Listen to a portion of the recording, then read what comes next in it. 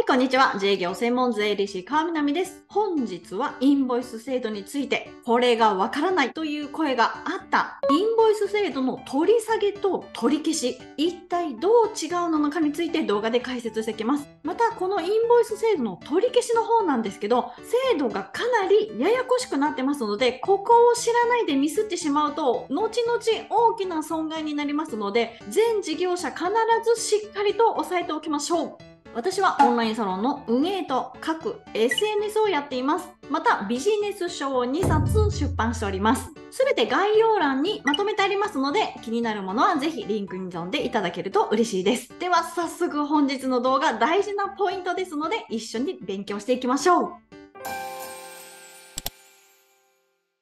それではインボイス制度のまずこの取り下げと取り消し、一体どう違うのかという切り口で動画の方を進んでいきます。本日の内容です。国税庁からですね、最近7月の末に注意すべき事例、皆さんが間違いやすいポイントここですよってことで、まとめた事例を公開してくれたんですね。こちらが本日の動画の解説内容の元となっております。7月末に国税庁が公開した。そしてこの公開された資料なんですけど、見ていただければ皆さんわかるんですけど、ややこしすぎます。これしっかり理解しておかないと、後々自分が大きな損害を得てしまうので、しっかりと本日、今回の動画と次の動画で続編また解説しますので、両方の動画しっかりと見ていただければと思います。本日の内容は、まず、登録の取り下げとは一体何なのか。次に、登録の取り消しとは一体何なのか。この2つの違いからインボイス制度の登録、届け出関係を解説していきますので、しっかりと最後まで動画見てください。そして最後のこの取り消しには2パターンがありまして、この2パターンをしっかりと押さえておかないと、知っておかないとやばいっていうものになっておりますので、動画最後まで見てください。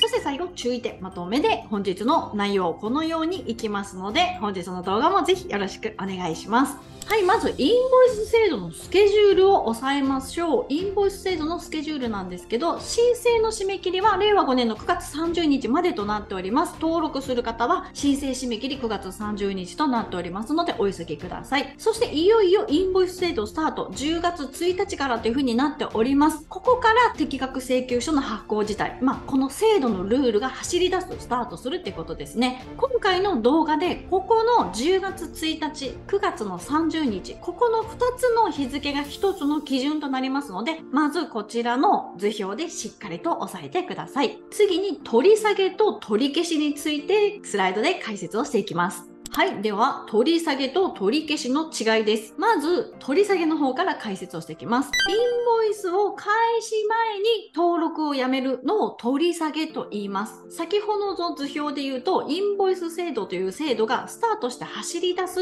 10月の1日以前に登録をやめることを取り下げというわけですね。なので、10月1日より前の時に、やはりインボイス制度登録申請したんですけど、やめたいですっていうふうに申請を出すことを取取り下げと言います。そしてこの取り下げ書はですね、9月の30日までに提出をするというルールになっております。ではもう一つ、取り消しについて解説をしていきます。こちらはですね、インボイス制度がスタートして、まあルールが走り出した後に、事情があって、やはりこちらインボイス制度の登録をやめようっていうふうに決める方が出てくると思います。そういった場合には、インボイス制度開始後に登録をやめるということになりますので、10月1日前の取り下げではなくて、10月1日以降、要はインボイス制度のルールが走り出した後に取り消したいということで、取り消しというふうにワードを決めているようです。そしてこちらの登録の取り消しというのはですね、こういった届け出のひな形きちんと決められています。この次のスライドでどういった届け出か紹介しますね。そして取り消しをしたい場合には、登録の取り消し届出書というのを税務署に提出することになります。ですので、10月1日より前は取り下げをする。10月1日以降になった場合は取り消しをするっていう風に覚えておくと分かりやすいと思います。そして10月1日以降、要はルールが制度がスタートしてしまうとですね、取り下げということはできなくなりますので、ここちょっとで頭に置いていただければと思います。では次にこちらに紹介した届出書が一体どういった書類なのか、次のスライドで解説をします。はい、こちらが実際の国税庁で公表されている取り消しの提出書類というふうになっております。正式名称はこちらにあります。長いんですけども、適格請求書発行事業者の登録の取り消しを求める旨の届け出書という名前がついておりますので、こちらのワードで検索をしていただけると国税庁のホームページから出てくるかと思います。こちら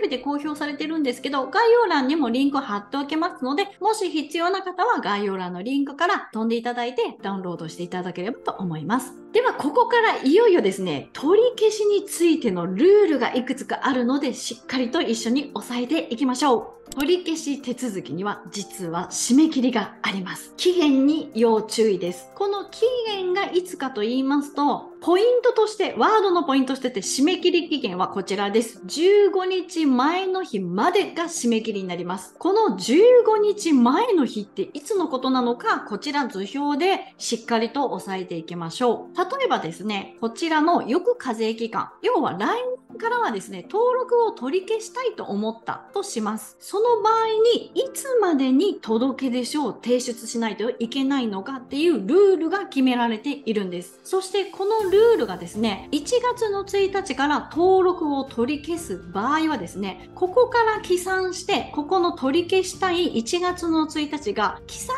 日となります。こちらからカウントをして、1、2、3、4というふうに逆算で15日目の前の日までに届け出を提出しなければ、ここから取り消すことができないというルールになります。これ皆さん知っていたでしょうか？しっかりとこの取り消したい15日の前の日までに提出をするということを知っておかないとですねこの登録の取り消しがよく課税期間ではなくその次よくよく課税期間からになってしまいますので本当に非常なポイントです。そしてこちら15日前の前の日1月の1日起算日から123ということでカウントをしていって今回1月の1日から取り消しをしたい場合の取り消し届の提出これ先ほど前のスライドで紹介した届出書を出すということです。この提出日が12月17日までに提出しなければ取り消しをすることができないということになります。これ結構難しいルールだと思いますので皆さんしっかりと押さえておきましょう。そして万が一この次の年1月の1日からインボイス制度の取り消ししたいなと思っていてもこの12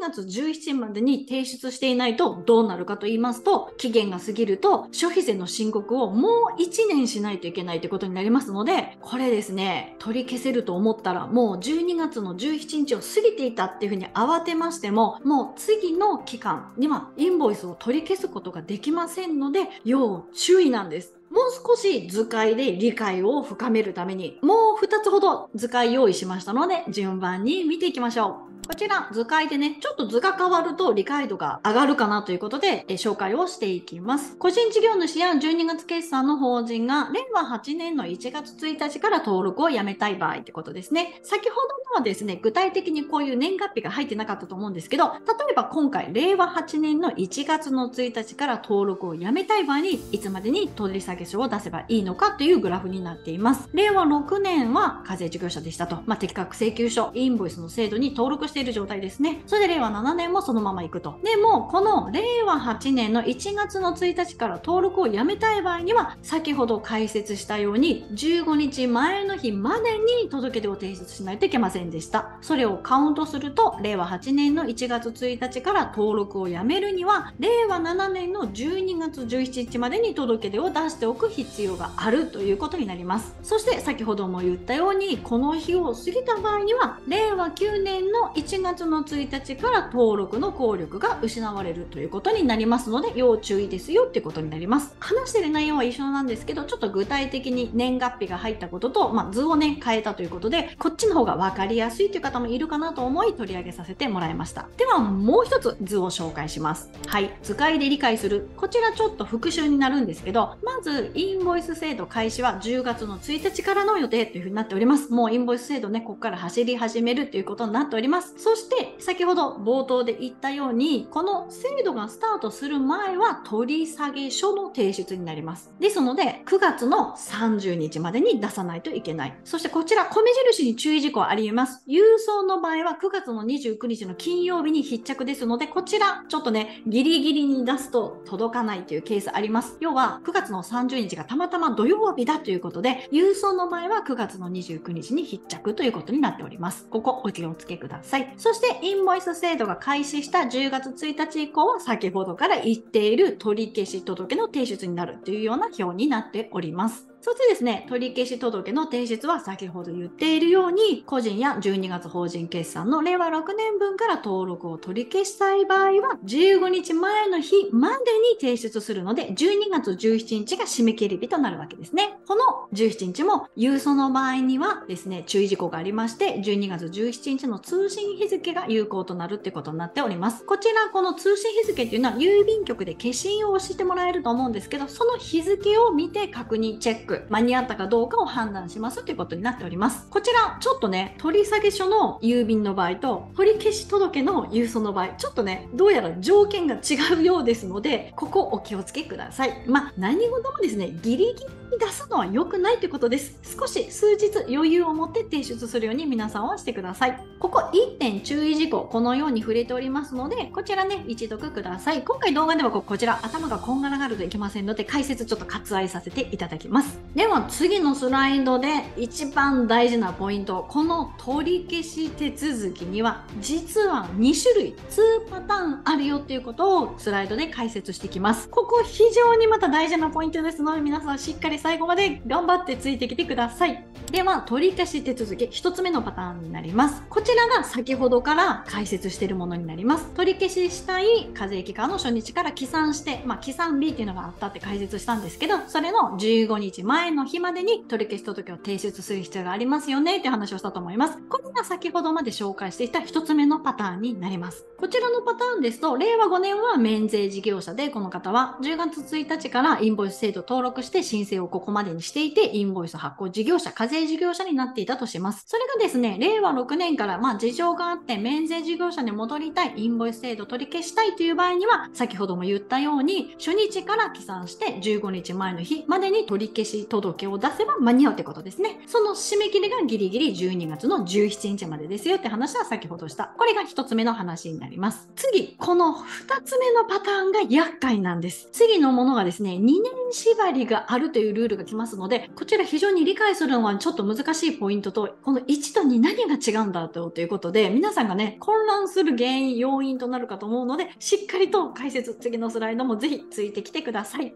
で、この1のパターンだと、12月の17日までに届け出を出せば、こちらの令和6年の1月1日から間に合うんですけど、この日を例えばね、過ぎてしまった場合は、次の令和7年から取り消しがすることが可能になります。ただし、次の2のパターンはちょっと話が違いますので、さあ、これからね、説明していきたいと思います。早速行ってみましょう。はい、取り消し手続きの2つ目のパターンになります。2年縛りに要注意ってことです。この2年縛りを意識しないといけない人、要注意しなければいけない人はどういった方かと言いますと、令和5年課税期間以外にインボイス制度を登録した人はですね、その後2年縛りというものが来ますので、要注意ということです。これもう少しね、解説をしたいと思います。令和5年が、えー、免税事業者で、この令和5年のインボイス制度スタート、10月1日から制度がスタートするんですけど、そこには登録をしなかったと。それ以降、令和6年に登録日を令和6年のこの方は2月の1日からインボイス制度参加することにしますっていうふうに申請を出したというパターンが今回のこの2つ目のパターンに該当します。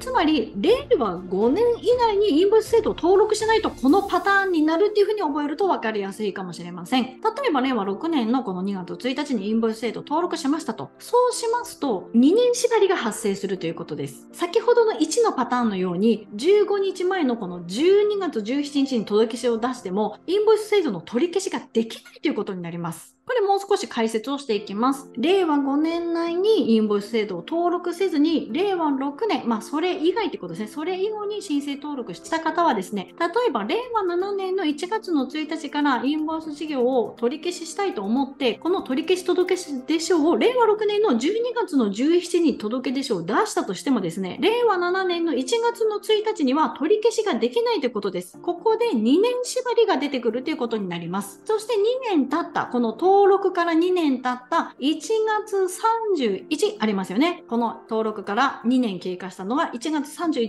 日になります。登録したのが令和6年の2月1日なので、ここで2年縛りというのが、ここで効力が消えます。ですが、この登録から2年経過した1月31が入っているところはですね、要は2年縛りの年となりますので、この取り消し届書の提出12月の17日に出したとしてもですね、納税義務が発生してしまうということになります。ります登録取り消し後に基準期間における課税売上高が1000万以下となったことにより、免税事業者になることができるのは令和9年以降になるということになります。ですので、この令和5年の課税期間以外に登録をした人はですね、登録日から2年経過日の属する課税期間の末日までは納税義務が免除されない。要は納税義務がある免税事業者には戻れないというふうに覚えておいてください。そして戻れるようになるのは、令和6年に登録日2月1日に登録した人は、令和9年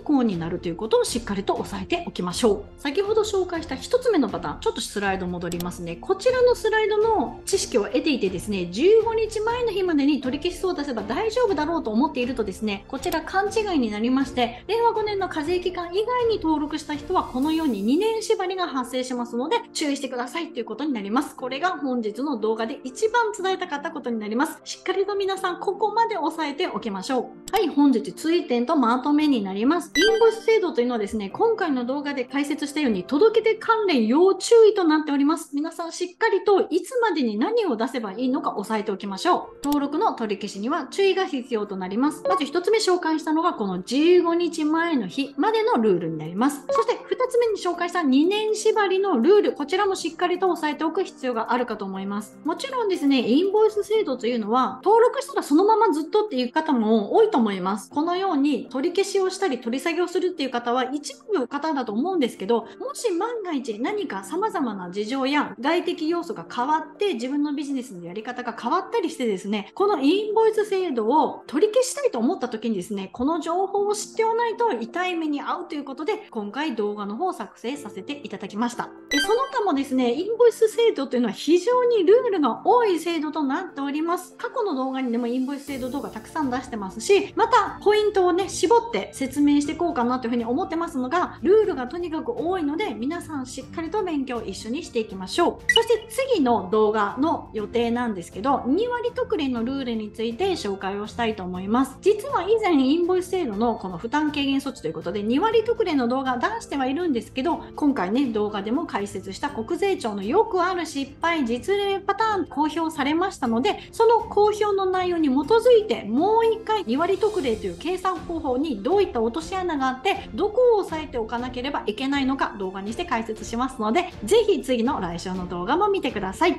そしてこちらですね一番大事なポイントは簡易課税の選択の届け出書をいつまでに出すのがいいのかというルール。ここが一番肝となっておきますので来週もお楽しみに。そしてインボイス制度っていうのは選択によって消費税の税額が変わってきますので重要項目となっております。ですのでこういった届けて関連またインボイス制度のルールしっかり一緒に押さえていきましょう。